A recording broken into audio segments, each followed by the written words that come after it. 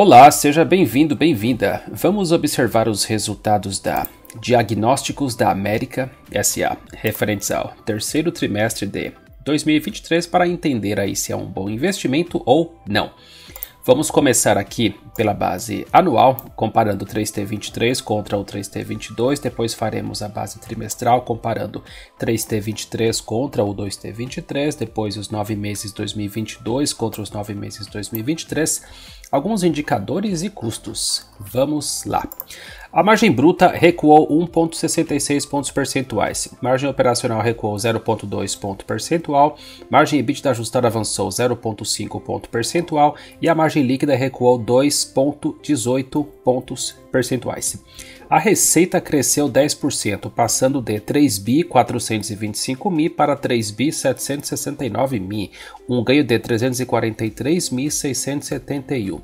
Lucro bruto avançou 4,2%, lucro operacional cresceu 7,5%, EBITDA ajustado cresceu 13%, e o prejuízo passou de menos 89.363 para menos 180.507, um aumento de 102% aí no prejuízo, ou 91 mil aqui a mais aqui de prejuízo. Aqui os números pela base anual eles estão aí do, de bom, né? Porém, tem uma parte que não está muito boa, né? Faz um bom tempo aí que a empresa vem precisando dar lucro, né? Então eu vou deixar aqui mais do, do neutro para o negativo, né? Porque ganho de receita excelente, muito bom ganho de receita. Parte operacional aqui tem melhor na parte operacional, porém ainda está no prejuízo. O prejuízo aumentou. Vamos ver na parte de custos por que, que está tomando prejuízo. Já aqui na base trimestral, a margem bruta recuou 0,3 ponto percentual, margem operacional avançou 2,85 pontos percentuais, margem EBITDA ajustado avançou 2 pontos percentuais e a margem líquida avançou 2,98 pontos percentuais. A receita líquida cresceu 3,8%, passando de 3 bi 630 mi para 3 bi 769 mi, um ganho de 138 mi. Muito bom.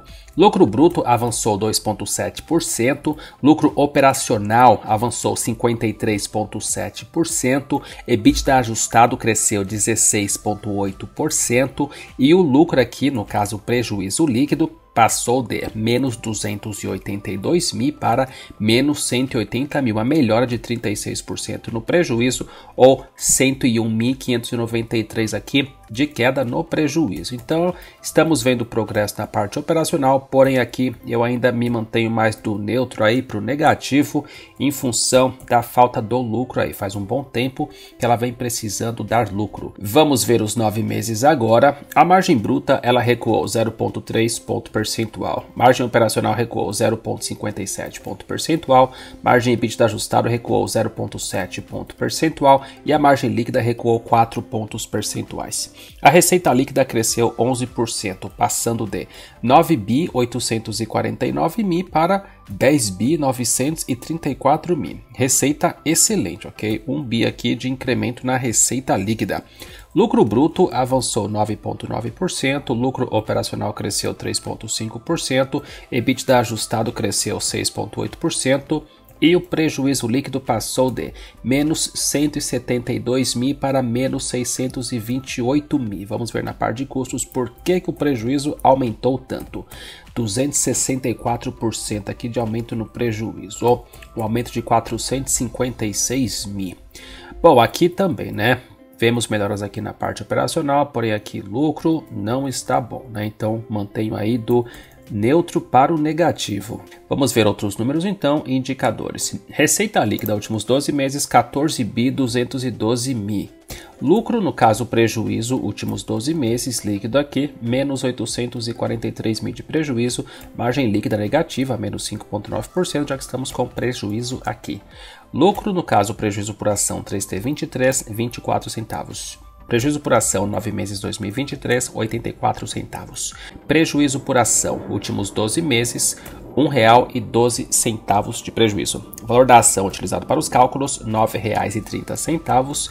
PL últimos 12 meses está negativo, menos 8,3, já que está com prejuízo e lucro por ação aqui negativo, ok? PVP 0,88, ou seja, valor patrimonial por ação R$ 10,55. Com um PVP aqui de 0,88, estamos com desconto de 11,9% no valor da ação. Estamos pagando R$ 9,30 por uma ação que vale R$ 10,55 de acordo com o valor patrimonial por ação. Por que, que está com desconto?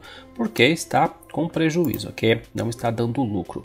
Capital social realizado. Teve uma leve alteração aqui do 2T23 para o 3T23, número de ações permaneceu o mesmo, valor de mercado 7 bi, dividendos últimos 12 meses 0,8%, resultado financeiro líquido no trimestre foi negativo, 460 mil aqui, negativo no resultado financeiro líquido. Aí já ajuda a entender né, um pouco por que, que a empresa está dando prejuízo. Vamos aqui, ó. lucro prejuízo acumulado 1 bi. Patrimônio líquido 7 bi 944 mil e a taxa de retorno aqui sobre o patrimônio líquido ROI está negativa, menos 10.6 em função dos resultados negativos. A alavancagem está bem alta, 3.8, dívida líquida aqui, 8 bi 968 mil, EBITDA ajustado últimos 12 meses, 2 bi 374 mil. Então a alavancagem está bem alta. E aí isso traz mais despesas financeiras para a empresa, né? O que corrói o lucro líquido. Vamos entender aqui então. A receita líquida, ela avançou 11% nos 9 meses 22 para os 9 meses 23, um ganho de 1 bi. Os custos eles avançaram 11,5% e ainda assim tivemos aqui um ganho no lucro bruto de 9,9% ou 292 mil a mais no lucro bruto, excelente.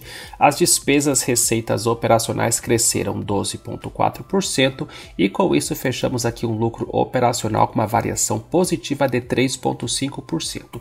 Excelente. Agora entra o vilão, ok? Por que, que a empresa está dando prejuízo? Alta alavancagem. Vemos aqui nos nove meses de 2022, ela teve uma despesa financeira aqui, né? Resultado financeiro líquido negativo, despesa financeira de 1 bi. Nos nove meses 23 teve um aumento aqui de 388 mil, né? Nas despesas financeiras. Então passou para 1 bi 440 mil. Então isso aí já corroeu aqui todo o lucro operacional da empresa, ok? Fechamos aqui com lucro ou prejuízo antes dos impostos 157% maior, de menos 227 mil para menos 587 mil, adicionando imposto de renda, contribuição social de um crédito para um débito, fechamos lucro líquido consolidado 9 meses 2022 de menos 172 mil, aqui um prejuízo no caso, e 9 meses 2023 um prejuízo de menos 634 mil um crescimento de 267% no prejuízo, atribuído aqui aos sócios da empresa controladora de menos 172.000.3 para menos 628.000.6 aqui. Então, um aumento aí de 264% no prejuízo, ou 456 mil aí a menos, né? A menos para a empresa, a mais aí no prejuízo. Então, isso explica por que, que a empresa está dando prejuízo, né? A questão financeira aqui, ó, resultado financeiro líquido está pegando bastante. A alavancagem alta está consumindo. Aí com a queda da Selic agora, vamos esperar que a queda da Selic realmente beneficie bastante a empresa, né, com juros menores, com menores despesas financeiras, para que a empresa passe a reter aí mais né, do lucro operacional e passe a dar lucro, porque a receita está excelente, ok?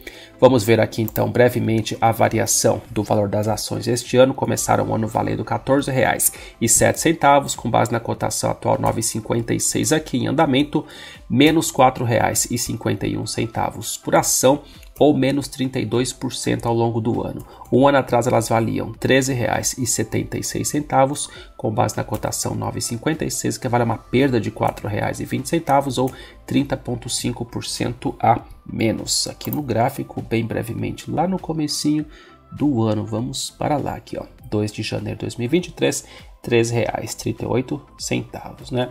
Saiu uma alta aqui, antecipando já a queda da Selic, porém os resultados precisam aí, né, o lucro precisa vir, né, para que essas altas se sustentem, ok?